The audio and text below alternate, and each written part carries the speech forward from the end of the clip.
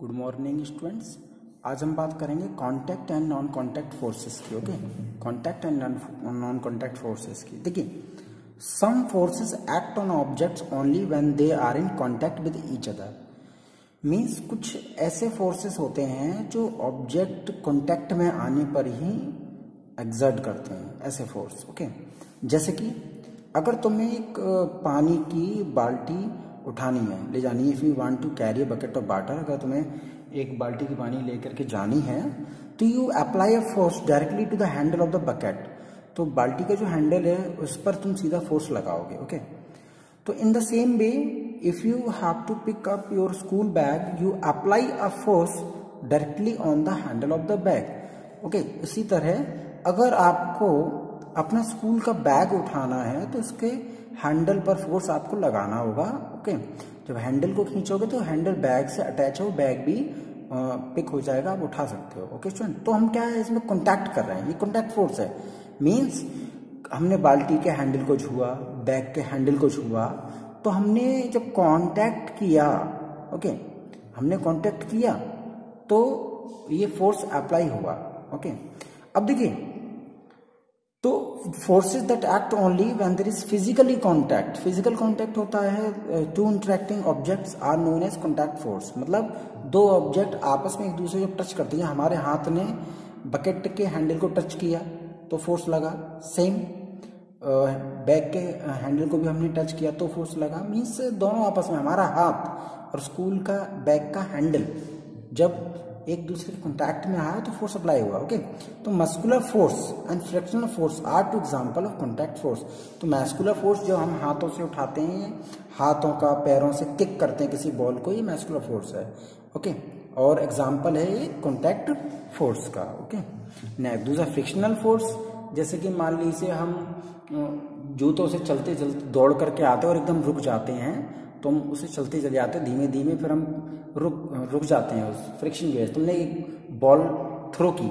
Ball ऐसी जगह throw की जहाँ जगह प्लेन नहीं है। थोड़ी ऊँची नीची है, ऊबड़ खाबड़ टाइप में मिट्टी, कह सकते हो सिंपली जो प्रॉपर प्लेन नहीं है। तो वहाँ वो बॉल जहाँ दूर तक नहीं जाएगी, वहाँ फ्रिक्शन फोर्स लग रहा है, उसको रोक देगा। बट कहीं ऐसी जगह, जहाँ टाइल लगे हुए हैं टाइल्स तब बॉल को आप फेंकते हो तो टाइल वाले प्लेस पर बॉल काफ़ी दूर तक जाएगी क्योंकि वो फ्रिक्शन कम है, वो टाइल्स की वजह से ओके तो और हम आगे इसके आगे बात करते हैं। फ्यू अदर फोर्सेस हैं that can also act an object even a object are not in contact मतलब बहुत सारे ऐसे फोर्सेस भी हैं जो बिना छुए, दूर से ही उसको अट्रैक्ट करेंगे, उस पर फोर्स अप्लाई करेंगे। ये फोर्स इससे फोर्स नॉन कॉन्टैक्ट फोर्स कहलाते एग्ज़ाम्पल ग्रेविटेशनल फोर्स यानी कि अर्थ हमारी जो पृथ्वी दूर से ही किस चीज़ को खींच लेती जैसे हम पत्थर स्टोन पत्थर को ऊपर फेंकने की कोशिश करें तो थोड़ी दूर तक ऊपर जाता है, फिर वो वापस आने लगता है, अर्थ की वजह से। अगर ये अर्थ पृथ्वी ना खींच रही होती तो हम फेंकते पत्थर, ऊपर जाता।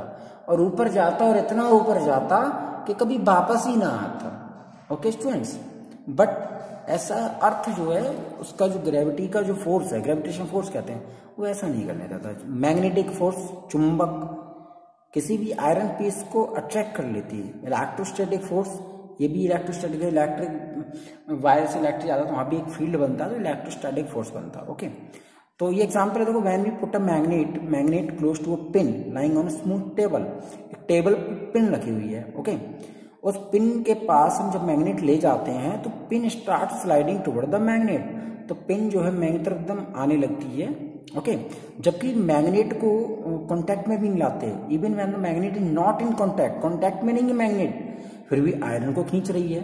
तो एग्ज़ाम्पल है नॉन कॉन्टैक्ट फोर्स बिना कांटेक्ट किए ही किसी चीज़ पर फोर्स लगा लेना, उसको अपनी तरफ़ खींच लेना फोर्स नॉन कॉन्टैक्ट फोर्स कहलाता है और इसका एक एग्ज़ाम्पल मैग्नेटिक फोर्स है, दूसरा एग्ज़ाम्पल इसका ग्रेविटेशनल फोर्स है।